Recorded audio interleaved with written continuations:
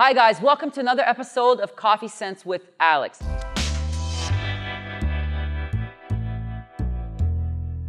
Today's quote is Don't confuse motion and progress. A rocking horse keeps moving but does not make any progress. Alfred Montapert.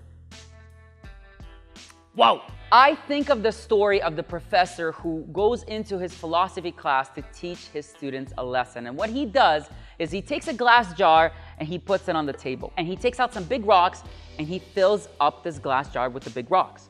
He fills it to the brim and he asks his students, is the jar full? And the students look at the jar, they can't see any more big rocks being fit on top, and they say yes. So he takes out a box of smaller rocks and he starts to pour it on top of the jar and starts shaking the jar until all the small rocks fit into all the little places where the rocks couldn't really fit in.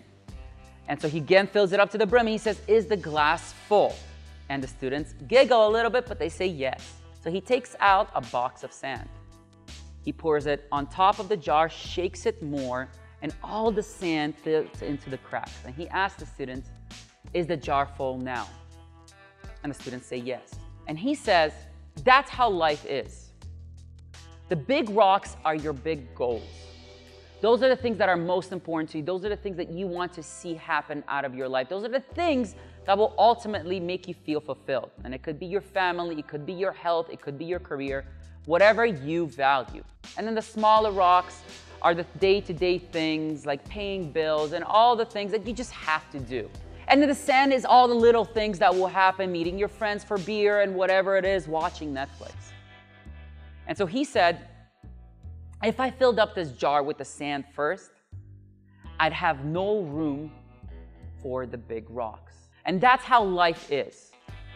If you fill your life with small distractions, if you just make yourself feel busy, but you're not working towards your goal, you're never gonna get anywhere.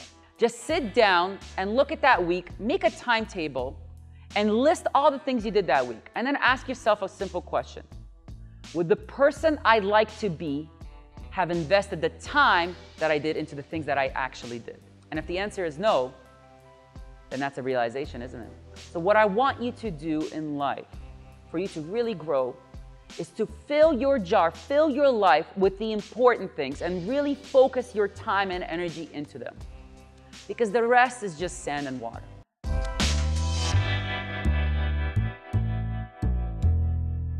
Thank you so much for watching. I'd love to hear your opinion on this quote. And if you have a quote in mind that you want me to talk about in the next episode of Coffee Sense with Aleks, please leave it in the comments below, and I'll see you on the dance floor.